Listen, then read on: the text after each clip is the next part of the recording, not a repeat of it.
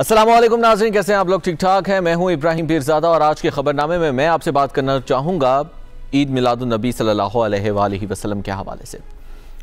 भरपूर अकीदत और अहतराम के साथ जोश खरोश के साथ जोश जज्बे के साथ मनाया गया और गली गली करिया करिया हर जगह जो है आपको सजावटें नज़र आई। लोगों ने मकानात को अपने घरों को सजाया गलियों को सजाया आ, सरकारी इमारतें जो हैं उनको सजाया गया और सरकारी सतह के ऊपर भी बड़ी तकरीबा का इनका किया गया और जो पैगाम हज़रत मोहम्मद अलैहि वसल्लम है। पैगाम मुस्तफ़ा अलैहि वसल्लम, उसको लोगों तक पहुँचाया गया और भरपूर कोशिश की गई कि हम हजूर सल्ला वसल्लम की सीरत को अपनाएँ उसवाए हसना को अपनाएँ, जो कि पूरी दुनिया के लिए एक मिसाल है।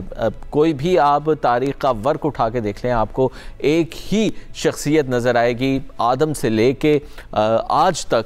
कि जिस शख्सियत को अल्लाह ताला ने मसाले बनाकर भेजा और जिसके हम फॉलोअर्स हैं, जिसके ऊपर हम यकीन रखते हैं, हम ईमान रखते हैं, वो हमारी सरकार हज़रत मोहम्मद सल्लल्लाहु अलैहि वसल्लम जैसी शख्सियत हैं। उन्होंने हमें एक पूरा जबता हयात दिया, दीन दिया। तमाम मसाए जो मजाहिब हैं, वो एक मज़हब के तौर पर सामने है कि ये करना है, ये करना है, ये नहीं करना, वो करना इबादत किस तरह से करनी लेकिन रात के सोने तक और दिन के जागने के बाद, जो कुछ भी ज़िंदगी इवन कि आपने सोना कैसे है, और अगर आपको खलल पैदा होता है, नींद के अंदर आपको ख्वाब बुरा आता है तो आपने किस तरह से अमल करना है?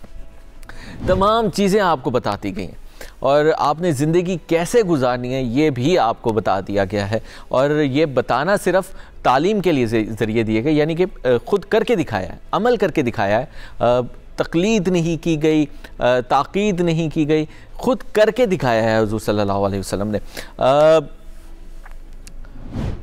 बहुत अच्छा भी लगा जिस तरह से हजूर वसल्लम की आमद की खुशी मनाई गई पूरी दुनिया के अंदर और पूरे मुल्क के अंदर।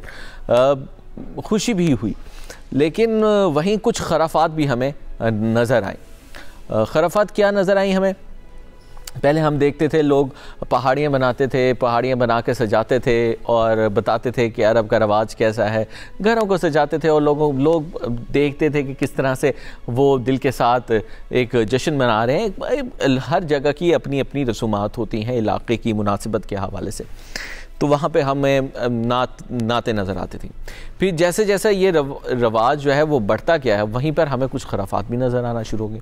खराफात कहाँ से नज़र आई? कि कहीं पर हमें नाच गाना नज़र आया कहीं पर आ, हमें ईद मिलादुलनबी के रोज़ गाने के आ, गाने के जो आवाज़ें हैं वो हमारे तक बुलंद आवाज़ के अंदर हमारे कानों में गूंजती रहीं और हमारा जो एक पैगाम था एक मोटो जो था कि इस दुनिया को किस तरह से तब्दील किया गया आपका इखलाक आपको बताना चाहिए आ, कि आप मुसलमान हैं आपको इकरार करने की ज़रूरत नहीं है कि आप लोगों को बताएँ कि आप मुसलमान हैं। आपका जिस्म आपकी आपका रवैया आपकी पर्सनैलिटी बताए कि आप मुसलमान हैं। लेकिन फिर खुराफात क्या आई हैं कि जी नाच गाना शुरू हो गया नाच गाना शुरू होने के बाद लोग फिर उस पर डांस करने लगे। इवन के कई ऐसी वीडियोस भी हमें कुछ साल पहले नज़र आई जिस पर जो तवाइफ़ें हैं, उनको भी नचाया गया, उनके साथ रक्स सुरूर की महफिलें सजना शुरू हो गई, जो कि हमारे दीन में मुकम्मल मना है।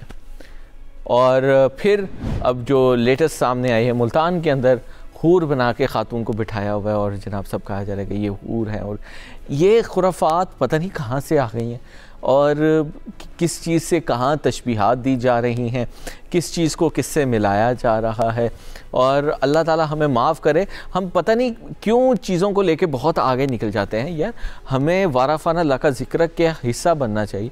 बजाय इसके कि हम जो है मुख्तफ खराफात जो हैं उसको इंट्रोड्यूस करवाना शुरू करते हैं कि जी ये हूर हैं। और मैं तो इवन कि ये भी एक वीडियो देख रहा था कि किसी ने पहाड़ियाँ बनाई हुई हैं, सजाई हुई हैं, और वहाँ पर शैतान जो है वो रक्स करा उसको फंदा डाला हुआ है और एक बंदा आके उसको मारा ये समझ से बाला तरह है कि ईद नबी कर रहे हैं या किसी ड्रामा के अंदर बैठे हुए हैं हमें तो हजूर सल्लल्लाहु अलैहि वसल्लम का पैगाम आम करना चाहिए इसके रू तो आ, मुझे नहीं समझ आ रही कि बहसीत कौम बहसीत मुसलमान हम चीज़ों को आगे किस तरह से लेके जा रहे हैं? आ, अगली बार नाउज़बिल्ला कहीं मुझे फ़रिश्ता ना नज़र आ जाए आज हूर नज़र आई है तो अगले साल हमें कोई फ़रिश्ता नज़र आ रहा होगा फिर जन्नत दोजख भी फिर नज़र आना शुरू हो जाएगी। अब हम लोगों को पैगाम को आम करना है, हमें तालीमत को आम करना है, हमें लोगों को बताना है कि हजूर सल्ला वसल्लम हमारे लिए क्या है।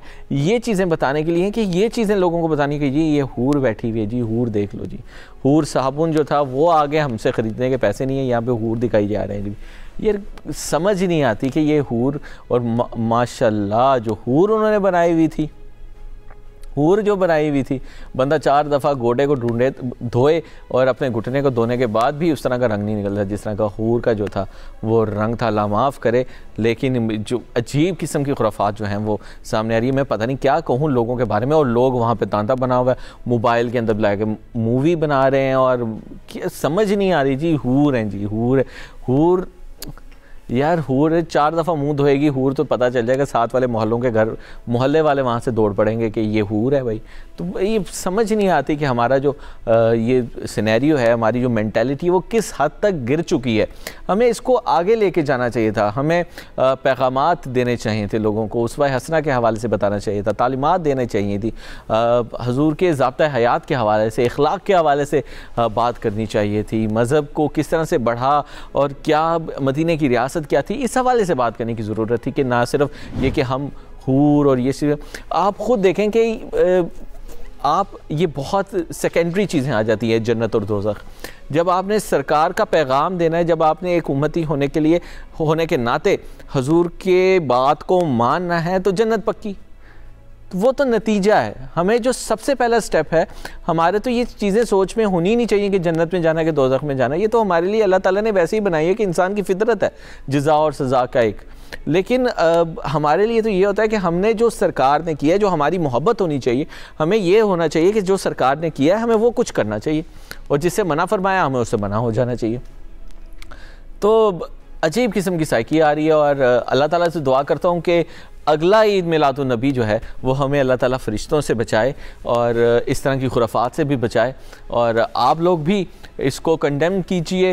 अगर आप मुल्तान के रहायशी हैं, आप भी इसको कंडेम कीजिए और बाकियों को भी कहें कि ये जो रवायात हम डाल रहे हैं, आने वाली नस्लों के लिए जो मिसालात हम, मसाले हम लोग दे रहे हैं, ये गलत है। हमें एक शायान शान तरीके से, बेशक हम लोग उस तरह से नहीं कर सकते जिस तरह की हजूर वसलम की शान है, लेकिन हम जो अपना हिस्सा डाल रहे हैं उसको हम सोबर तरीके से, बेहतर तरीके से शरीयत को सामने रखते हुए, मलूज़ खातिर रखते हुए उसको अपनाएँ। तो इन फिर आपसे अगली वीडियो में बात होगी। अपना ढेर सारा ख्याल रखिएगा। अल्लाह हाफिज़।